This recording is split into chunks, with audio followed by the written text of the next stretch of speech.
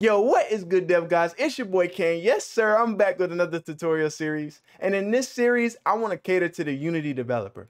Now with UE5 right around the corner, there's going to be a lot of Unity developers that want to come over and test the engine just to see if making the switch is the right decision for them. I want to help that transition out. You know, I want to make it easier for you because we want you to join the dark side. The Empire needs you. So I want to show you how the game framework works inside of Unreal Engine. I want to show you how classes work inside of Unreal Engine. I want to show you some similarities and differences between Unreal Engine and Unity. And I also want to show you how easy it is to code using C++ inside of Unreal Engine. I know that scares a lot of Unity developers away, but at the end of the day, it is simple once you grasp the concepts. And if you have already been developing in Unity, you understand the basics of programming, and you understand the, the ins and outs of a programming language. So learning Unreal Engine C++ won't be as hard as if you're starting from scratch.